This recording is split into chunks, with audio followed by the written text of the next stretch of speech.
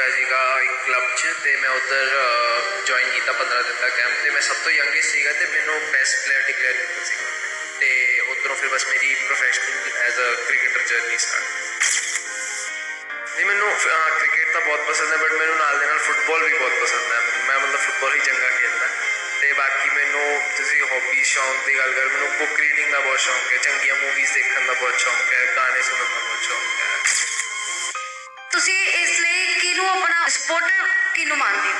ਤੇ ਮੈਂ ਆਬਵੀਅਸਲੀ ਆਪਣੀ ਫੈਮਿਲੀ ਨੂੰ ਉਹਨਾਂ ਨੇ ਬਹੁਤ ਸਪੋਰਟ ਕੀਤਾ ਮੈਨੂੰ ਮੇਰੇ ਪੇਰੈਂਟਸ ਨੇ ਤੇ ਮੈਂ ਉਹਨਾਂ ਨੂੰ ਬਹੁਤ ਥੈਂਕਫੁਲ ਹਾਂ ਕਿ ਉਹਨਾਂ ਨੇ ਮੈਨੂੰ ਬਹੁਤ ਸਪੋਰਟ ਕੀਤੀ। ਉਹਨਾਂ ਦੀ ਸਪੋਰਟ ਤੋਂ ਬਗੈਰ ਮੈਂ ਸ਼ਾਇਦ ਇੱਥੇ ਤੱਕ ਨਾ ਪਹੁੰਚ ਪਾਉਂਦਾ ਆਪਾਂ ਕਹਿ ਦਿੰਦੇ ਆ ਨਾ ਵੀ ਸਾਡੀ ਲਾਈਫ 'ਚ ਉਹ ਬੰਦਾ ਆ ਅਸੀਂ ਉਹਨੂੰ ਦੇਖ ਕੇ ਸਿੱਖੇ ਉਹ ਕੌਣ ਹੈ ਯੁਵਰਾਜ ਸਿੰਘ ਨੇ ਜਿਹੜੇ ਉਹ ਵੀ ਲੈਫਟੀ ਸੀਗੇ ਤੇ ਉਹਨਾਂ ਨਾਲ ਮੈਂ ਕੈਂਪਸ ਵੀ ਲਾਏ ਨੇ ਉਹ ਵੀ ਮਤਲਬ ਉਹ ਬਹੁਤ ਇਨਸਪਾਇਰ ਕਰਦੇ ਆ ਸਾਡੇ ਪੰਜਾਬ ਦੇ ਕ੍ਰਿਕਟਰਸ ਨੂੰ all and also all the cricketers all over the country and world ਤੁਸੀਂ ਜਿਹੜੇ ਅੱਜ ਦੀ ਜਨਰੇਸ਼ਨ ਆ ਉਹਨਾਂ ਨੂੰ ਕੀ ਕਹਿਣਾ ਚਾਹੋਗੇ?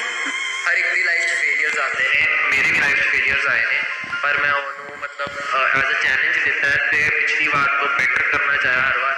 ਮੈਂ ਇਹ ਕਹੂੰਗੀ ਇਹਦੀ ਪ੍ਰੈਕਟਿਸ ਦਾ ਇਹਦੀ ਡੈਡੀਕੇਸ਼ਨ ਦਾ ਇਹ ਰਿਵਾਰਡ ਹੈ ਜਿਹੜਾ ਨੂੰ ਮਿਲਿਆ। ਤੇ ਆਈਏ ਹੁਣ ਆਪਾਂ ਗੱਲ ਕਰਦੇ ਆ ਨਿਹਾਲ ਵਡੇਰਾ ਨਾਲ, ਜੋ ਕਿ 2023 ਜਿਹੜਾ ਆਉਣ ਵਾਲਾ ਆ ਆਈਪੀਐਲ ਮੁੰਬਈ ਵਿੱਚ ਸਿਲੈਕਟ ਹੋਏ ਨੇ।